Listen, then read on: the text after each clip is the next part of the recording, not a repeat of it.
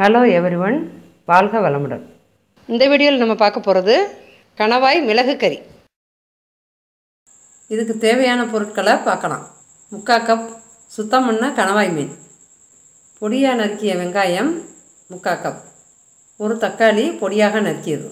தேங்காய் துருவல் அரை கப் ரெண்டு ஸ்பூன் அளவு பொடியாக நறுக்கிய இஞ்சி. கருவேப்பிலை தேவையான அளவு. கொத்தமல்லி தேவையான அளவு.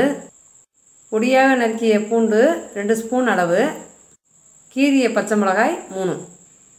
மிளகாய்த்தூள் ஒரு ஸ்பூன் சீரகத்தூள் ஒரு ஸ்பூன் மிளகு ஒரு ஸ்பூன் டேஸ்ட்டுக்கு தேவையான அளவு உப்பு அரை ஸ்பூன் மஞ்சத்தூள் மிளகு சீரகத்தூள் ஒரு ஸ்பூன். தேவையான அளவு நல்லெண்ணெய். தேவையான அளவு தண்ணி. வீடியோக்குள்ளே போகிறதுக்கு முன்னாடி நம்ம சேனல் ரெசிபிஸ் பிடிச்சிருந்துச்சின்னா சப்ஸ்கிரைப் பண்ணிவிடுங்க பக்கத்தில் இருக்க பெல் ஐக்கானையும் தட்டி விட்டுடுங்க. வாங்க வீடியோக்குள்ளே போகலாம்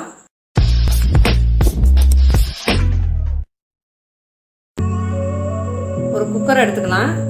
அதில் கணவாய் மீனை சேர்த்துக்கிடுவோம் ஒன்றரை டம்ளர் அளவு தண்ணி சேர்த்துக்கிடுவோம் இது வேகிறதுக்கு அரை ஸ்பூன் உப்பு சேர்த்துக்கிடுவோம் இப்போ குக்கரை மூடி வச்சுக்கலாம். ஒரு அஞ்சாறு விசில் வர்ற வரைக்கும் வெயிட் பண்ணுவோம். இப்போ திறந்து பார்க்கலாம். இப்போ கணவாய் மீன் நல்லா வெந்திருக்கு. இப்போ அதை எடுத்துக்கலாம். அடுத்து ஒரு மிக்ஸி ஜார் எடுத்துக்கிடுவோம். அதில் மிளகு சேர்த்துக்கிடுவோம். அதுக்கப்புறம் இஞ்சி துருவிய தேங்காய்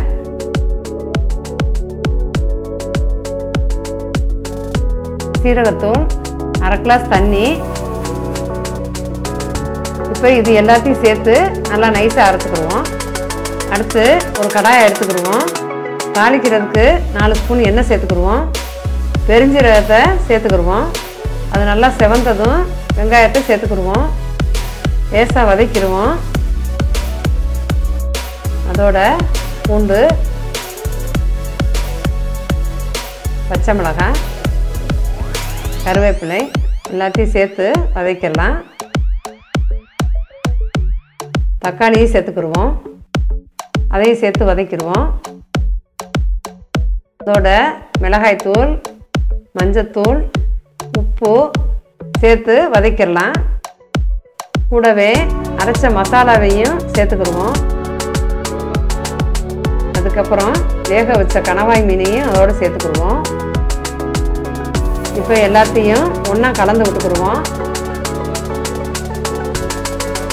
அதோட மசாலா தண்ணியும் சேர்த்துக்கிடுவோம்.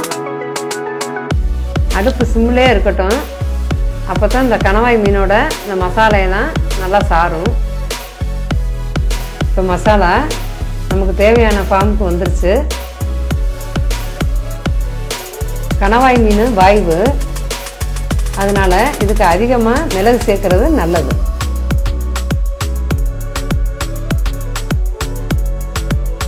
கடைசியாக பொடியாக நறுக்கின கொத்தமல்லி தூவி இறக்கிறோம் இது சப்பாத்தி தயிர் சாதத்துக்கு ட்ரை பண்ணி பாருங்க. ரொம்பவே நல்ல காம்பினேஷனாக இருக்கும். இப்போ நம்ம கணவாய் மிளகு கறி ரெடி இந்த வீடியோ உங்களுக்கு பிடிச்சிருந்தா லைக் பண்ணுங்கள் உங்கள் கருத்துக்களை கமெண்ட் பண்ணுங்கள் சேனலுக்கு சப்ஸ்கிரைப் பண்ணுங்கள் ஃப்ரெண்ட்ஸ்கிட்டையும் ஷேர் பண்ணுங்கள்